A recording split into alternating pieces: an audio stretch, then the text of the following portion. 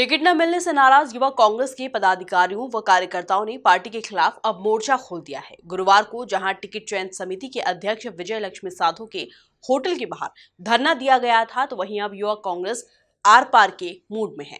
युवा कांग्रेस ने इंदौर में पार्षद चुनाव के लिए पार्टी से अपने कार्यकर्ताओं के लिए 50 प्रतिशत टिकट की मांग की थी। पार्टी ने पहले 10 टिकट देने का आश्वासन दिया था, बाद में पाँच किया, फिर तीन कर दिया।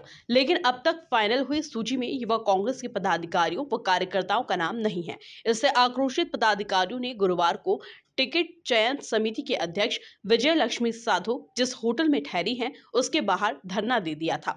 पदाधिकारी के अनुसार, क्या युवा कांग्रेस के पदाधिकारी व कार्यकर्ता सिर्फ़ झंडे, बैनर उठाने व आंदोलन में भीड़ बढ़ाने के लिए हैं?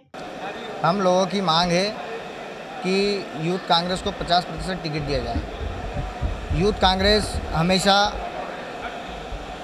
आंदोलन करने के लिए एवं भारतीय जनता पार्टी के जो भ्रष्टाचार के खिलाफ हर बार आंदोलन में बढ़ चढ़ के हिस्सा ले रही है।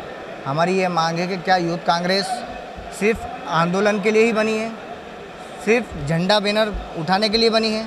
हमारी ये मांग है हमारे शीर्ष नेतृत्व से कि यूथ कांग्रेस को ज़्यादा से ज़्यादा मौका देना चाहिए और चाहे वह यूथ कांग्रेस की महिला पदाधिकारी है या यूथ कांग्रेस के दूसरे पदाधिकारी उनको मौका आगे देना चाहिए ताकि कांग्रेस में और ज़्यादा युवाओं को हम जोड़ सकें और आने वाले आम चुनाव में हमारे शीर्ष नेतृत्व कमलनाथ जी को और हाथ मज़बूत कर सकें।